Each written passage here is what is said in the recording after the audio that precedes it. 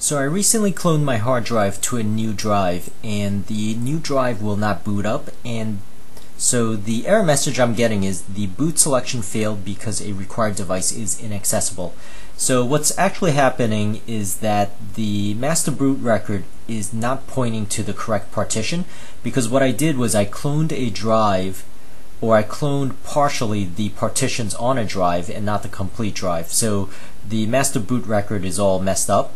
So what I have to do is go into a Windows CD or to a Windows pre-environment CD. So I'm going to boot off of either a thumb drive, a DVD here. So I'm going to boot off of my DVD here. Now if you don't have the Windows Windows disk, definitely um, go to my description area. You could download a Windows pre-environment that you could put on a thumb drive.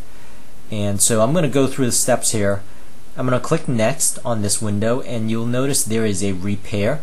I'm going to click on the repair and it's simply going to go through all my hard drives and try to identify a Windows partition here and it's going to identify the Windows boot partition and rewrite the master boot record.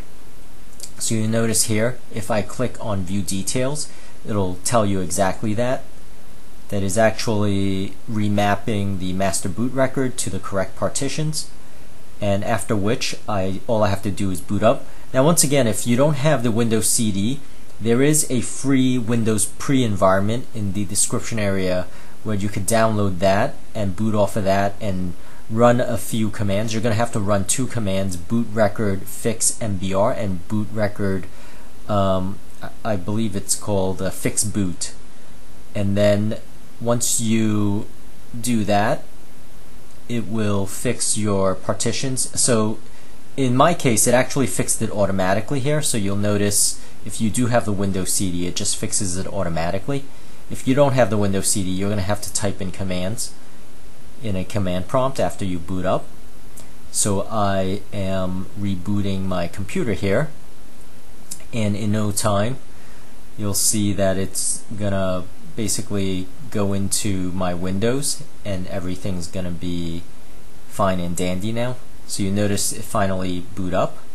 Um, and once again this is because when I cloned my drive I didn't clone the entire drive. I cloned uh, just the boot partition without uh, other partitions. So the so so the clone is not exact and the master boot record has to be fixed because of that uh, but that's really it. That's really what I wanted to mention. I hope this helped, and uh, please subscribe, and thank you for watching.